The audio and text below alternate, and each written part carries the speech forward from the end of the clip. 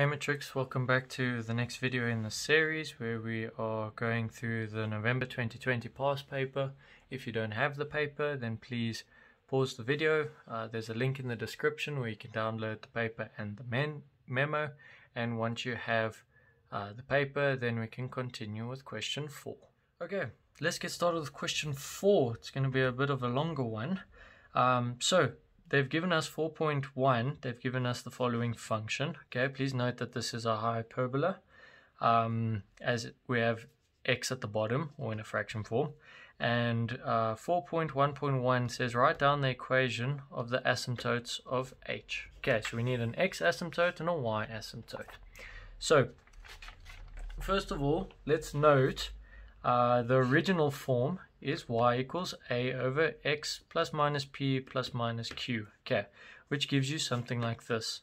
Now, what's given is we have negative 3, so our quadrants have swapped, okay, then x minus 1, which means we've moved to the right on my x-axis, okay, because it's a negative, and we've moved two units up on my y-axis, okay.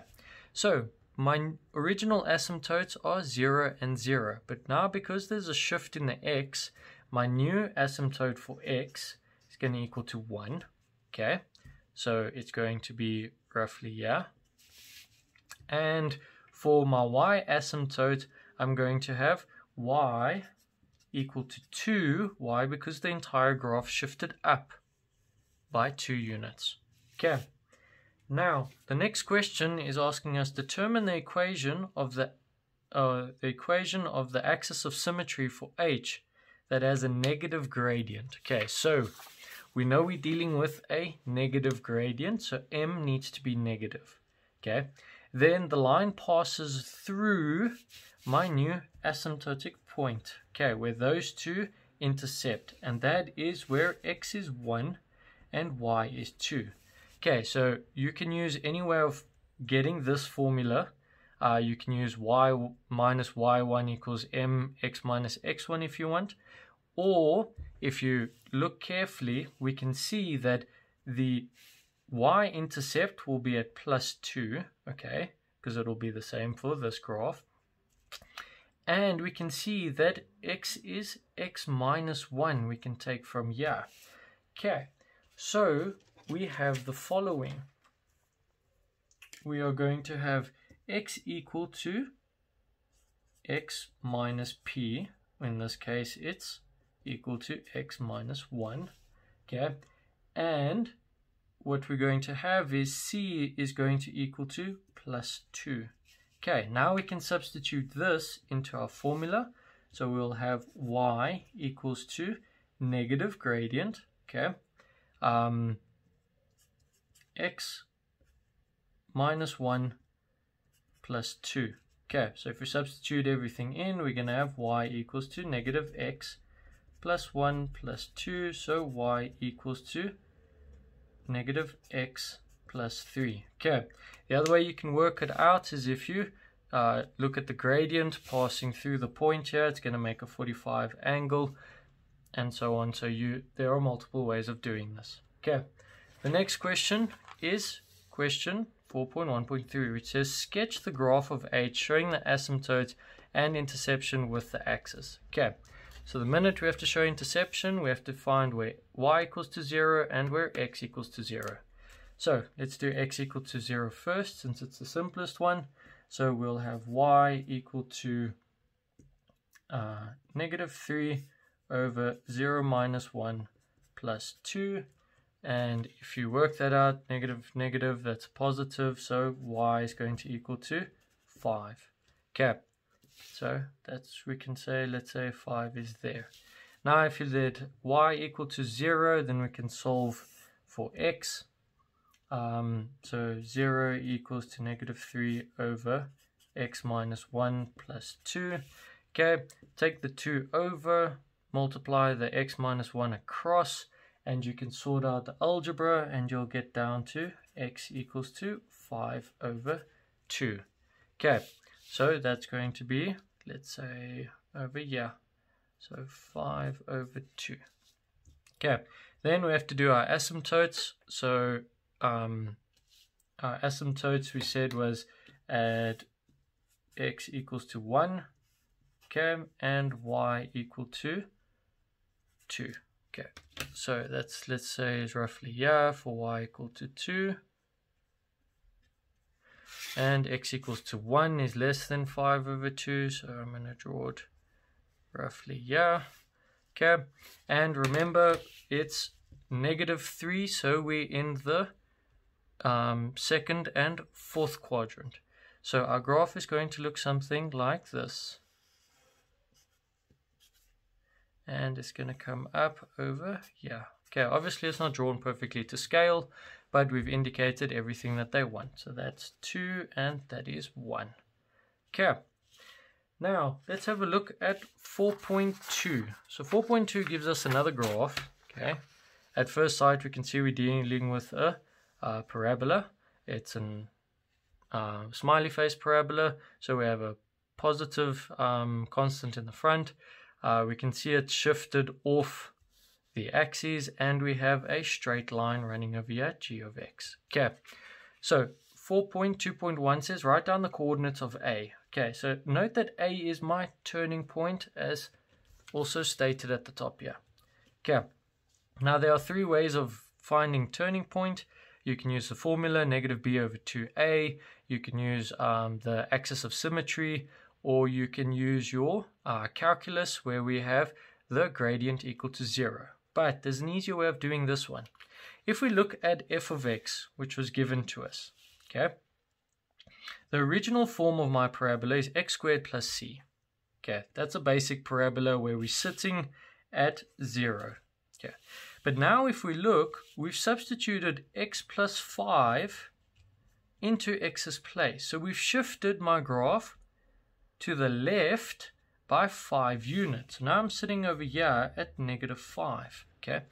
Plus, we've shifted the graph down by 8 units. So this over here is now negative 8. I'm at negative 5 and negative 8. Okay.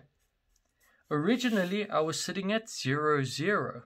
So my new turning point becomes negative 5 and negative 8. Okay, so just some basics from uh, grade 10 and 11 that we have to incorporate and it's worth two marks. Okay, so not too many calculations. Then 4.2.2 says write down the range of f. Okay, now remember the range of f always deals with y values. Okay, uh, so think about a shooting range. We're standing on the x, we're looking down y.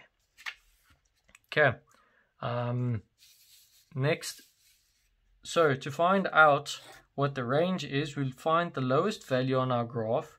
So we said that this was negative 5, negative 8. Okay, so this here is negative 8. So can you see that all the values are valid from negative 8 to infinity? Okay, so you can write it in any way you want, but I prefer writing it y must be greater or equal to negative 8, or you can say that y is an element including negative 8 to infinity. Okay, we never include infinity.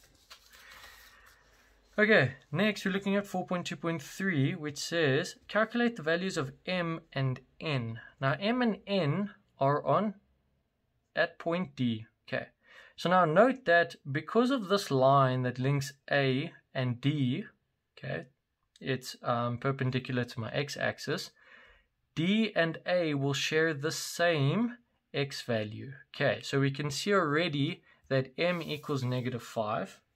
Okay, so m equals negative 5. I've stated here, note that A and D share or have the same x point and D lies on G. Okay, so now to find the missing y value, all we have to do is substitute my x point into the function g of x, since n and m sit on the line G and we'll find our endpoint. Okay, so we're looking for G of negative 5, which is going to equal to a half negative 5 plus 9 over 2.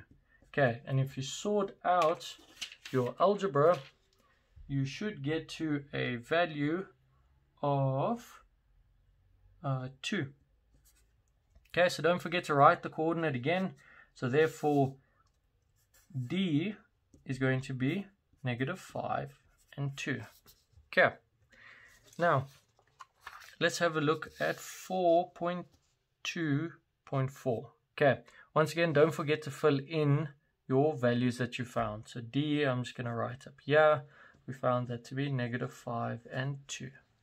Okay, so 4.2.4 says calculate the area of OCDE. Okay, so OCDE. So we have a trapezium sitting over here, but now it's lying on its side. Okay, so I'm just going to draw it upright. So it's going to be, look something like this. Okay, so that is E, that is D, um, this one is O, and that is C. Okay, so here is my perpendicular. Now remember the formula of a trapezium, okay, for the area is half my perpendicular height multiplied by A plus B, okay, where A and B is the top and the bottom. Okay, so in this case, A is going to equal to ED, okay. Um, B is then going to equal to OC, and my perpendicular height is going to equal to OE. Okay, so now I can substitute this into the formula, which will then be area of trapezium equals to a half my height, so that's OE times A is ED uh, plus B, which is OC. Okay, so now finding those values, which we have, we know that um, OE is um, negative 5. Okay, but remember we're taking the uh, absolute value of these, so it's just 5 units. Okay, so we'll have a half. Uh, OE is 5. Um, ED. ED is this little piece up here. Okay, we know that that is 2. Plus OC. Okay, so OC, this point over here, is the y-intercept of g, which we can see is 9 over 2. So 9 over 2. And if you sort out those numbers, you will get down to an answer of 65 over 4 units. Okay, but remember it's area, so it must be squared. Okay. Almost done. 4.2.5 says determine the equation of g to the power of negative 1. So the inverse of g, okay, um, in, the in the form of y equals something. Okay, so now when we find inverse, we let x equal to y and y equal to x. And then solve for y. So what does this mean? Okay, so what was given is y equals to a half x plus 9 over 2. So now I'm going to let x equal y and y equals x. So I'm going to have x equals to a half y plus 9 over 2. Okay, so now we can solve for y, so that becomes x minus 9 over 2 equals to a half y. So y is going to equal to 2x minus 9. Okay, and that becomes g negative 1 of x. Okay, not too difficult. Okay, looking at uh, 4.2.6, uh, it says that we have h of x which equals to g, the inverse of g plus k is a tangent of f of x. Okay, determine the coordinates uh, points of contact between h and f. Okay, so h of x is given by that. Okay, so I've substituted my inverse in, which gives me this formula here. So what it's saying is, here's f of x. Okay. Now at some point, I'm going to say this point here, I have a tangent line. Okay. So we've now learned that, that in calculus, um, the tangent can be found using our derivative of the function given. So uh, f of x, we can find the derivative, and then at that point, we can use that to find our tangent line. Okay, so what it says is f prime of x is equal to my gradient of my tangent line. Okay, so that's m for tangent. Okay, so let's find the derivative of f of x. So f of x is given as a half x plus 5 squared minus 8. So if we sort out the bracket, we're then going to get a half um, x squared plus 10x uh, plus 25 minus 8. So if we distribute the half in and then minus the 8 off of it, we're going to end up with x squared over 2 uh, plus 5x uh, plus 4.5. Okay, this makes sense because remember, g of x, we said that it intercepts at 9 over 2, which is 4.5. Okay, now that we have that, we can find f prime of x. That's going to be, remember we take the 2 down, so 2 times, or 2 over 2 is 1, so we're just going to have x. Okay, and then the derivative of 5x is just going to be plus 5. Okay, now we said that the derivative of x equals the gradient of my tangent line. So note that the gradient of my tangent line is 2. Okay, so yeah, m equals 2. So now I can set these two equal to each other. So I'm going to have x plus 5 is equal to 2. Okay, so therefore I'm going to have x equal to 2 minus 5, that's negative 3.